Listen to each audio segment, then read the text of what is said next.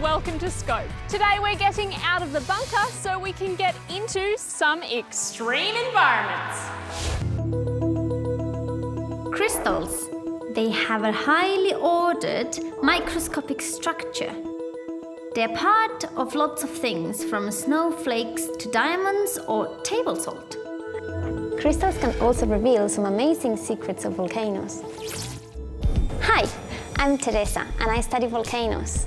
And believe it or not, these tiny crystals tell me about a volcano's past and present and can help me predict its future.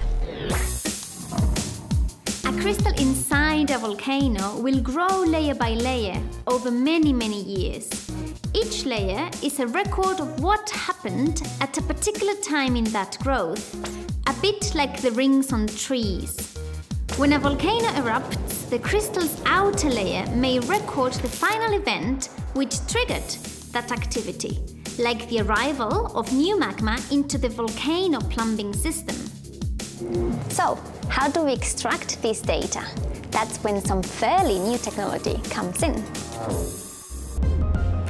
Using this laser drilling tool, I'm able to remove a tiny amount of the crystal and analyze its chemical composition using an instrument called a mass spectrometer.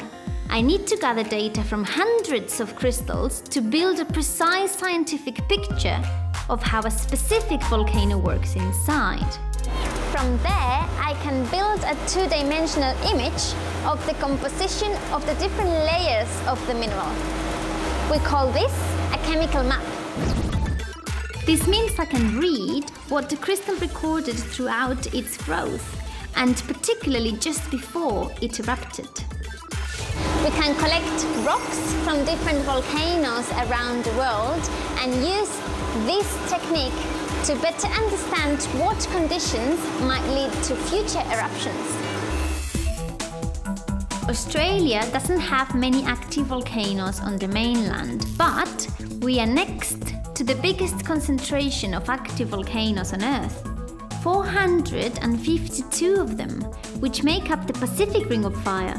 The fact is, volcanoes are major environmental hazards.